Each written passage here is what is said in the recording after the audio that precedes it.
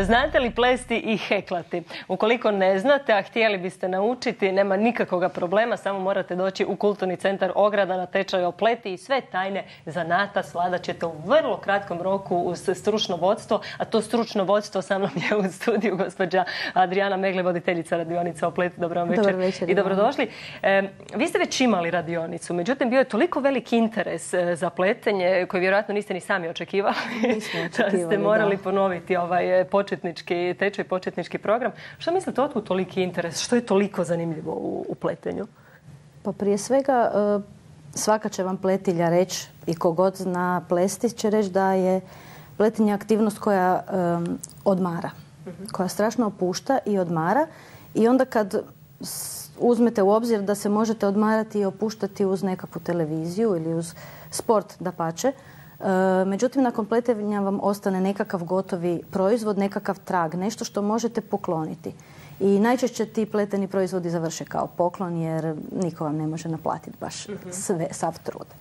E, početnički tečaj, e, da nas malo uputite u te tajne zanata. Što se sve nauči na početničkom tečaju? Od kuda to kreće? Koliko je vremena potrebno? E, vi ste nam tu donijeli neke primjerke što su radile vaše polaznice da. na, da, na prvom seminaru. radionice, više tipova radionica u Zagrebu. Ja sama, evo ovo je prva radionica koju sam počela voditi početkom 11. mjeseca. Prije toga sam uvijek nekom poznatom pokazivala onako u privatnom aranžmanu.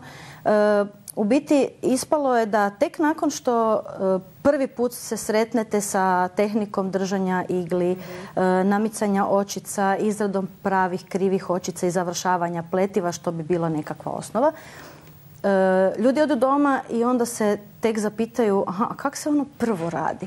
I onda u biti imam hrpu poziva, iz isparanih očica, nošenje onak lagano pa se to vraća na igle pa svašta.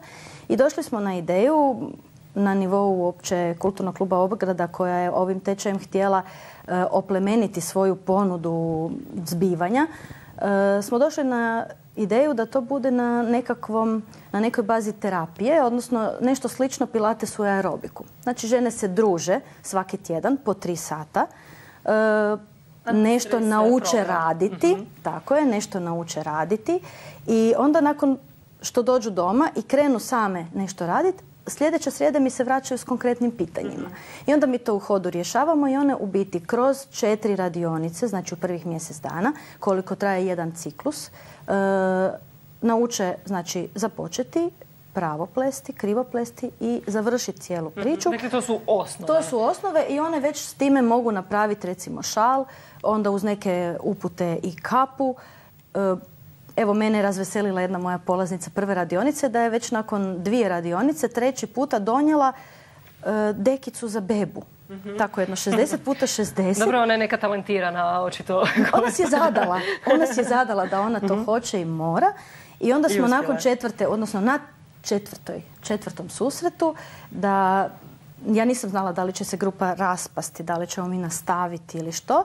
Započeli smo jedan recimo ovaj rad e, gdje je svaka od njih e, nastavila na onu prethodnu, mhm, jedan mhm. dio i ovdje na kraju imamo bijelo i žuto heklano jer dvije su mi bile već pletilje pa su rekli me ne, mi smo došle heklati. Tako su one naučile heklati i ovdje je nastao taj jedan mali kolaž e, radova Dakle, to je napravljeno nakon što su polaznice za prošle tri radionice na četvrtoj, a ovo sam nakon četvrte dobila još od dvije, odnosno tri polaznice, ovo je heklano, a ovo je pleteno s tim da je ovo jedan poseban rad. To je rad pletilje koja plete ljevom rukom. Nju sam sve morala učiti naopako. Da, kako u tom slučaju onda? Sve naopako. Jer je sve naopako, da. Da, sve naopako. E, plete se prebacivanjem očica sa ljeve igle na desnu. Mhm. E, kod nje je obrnuto. Ona sve radi sa desne igle na lijevu. I onda često kad zapne, onda mi treba jedno... Onda je vama malo da, problem kako, kako se prebaciti na, na ovo što je vama naopako. E, govorite samo o ženama. Ima li muškaraca koji pletu? E, u biti u svijetu ima. Kod nas ja osobno znam za dva. Jedan od, jednog poznam virtualno preko interneta, preko tih nekih foruma, portala i blogova a drugog znam i osobno i da pače moram priznat da... Jesu bolji od žena, kako to njima Pa evo, Igor Hekla bolje od mene. Ja moram spomenuti Igor Hekla Mrak, Međutim, ovoga, s obzirom da sad nastavlja školovanje, malo je ostavio ručne radove po strani. Sad je pitanje koliko društvo gleda i kako gleda. Da, da, to je sad, to je sad jedna druga stvar, naravno. Ali e, ima u e, Što sa ženama, kakav je profil žena koje vam dolaze na radionice? E, ja vam imam jednu šarenu grupu i sad kako traju prijave za novu grupu, za novi ciklus početne radionice, to su, pitaju me žene, da li su to starija grupa, da li mlađa grupa, to vam miješano. Imamo od 25 do 30 pa 40 godišnjakinje, imamo i penzionerke dvije, e, imamo bake, imamo mlade mame. E, sve one na neki način na ta tri sata jednom tjedno pobjegnu od svoje mhm, svakodnevice. Mhm. E, ima li ih možda koje su promijenile svoje zanimanje pomjesto što su, ne znam, prije bile ovo ili ne znam, arhitektica, sad postaje pletilja, recimo? Pa ja za to u principu osobno nisam čula. Da su se Meni se zainteresirane, pa da. Meni se možda baš upravo taj transfer mhm, mhm. desi.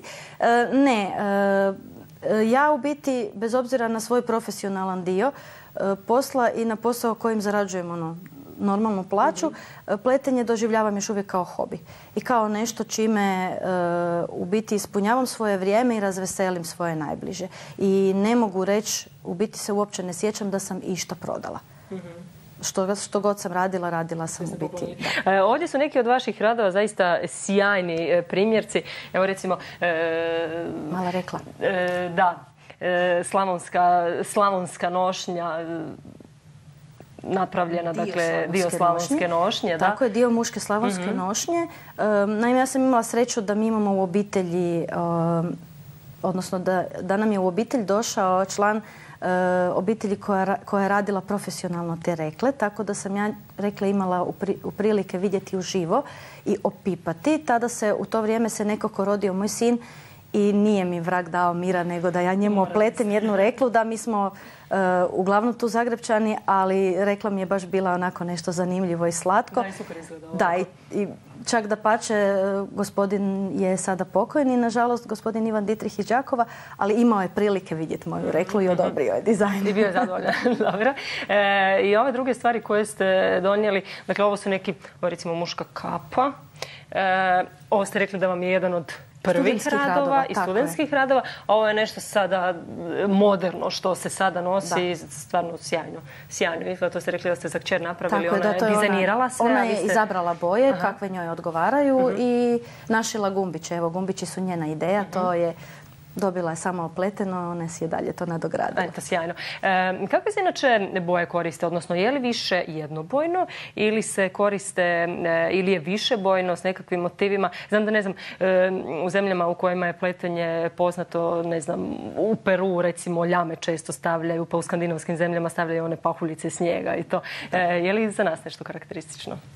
Pa kod nas su karakteristične recimo baš ova slavonska šara za taj jedan, jednu slavonsku nošnju. E, ovdje u kontinentalnom dijelu više je tkano uobičajeno za narodnu nošnju, tako da se u toj nekoj tradiciji e, ne mogu sad sjetiti neke specifične mustre. Obično nam to dolazi od negdje izvana.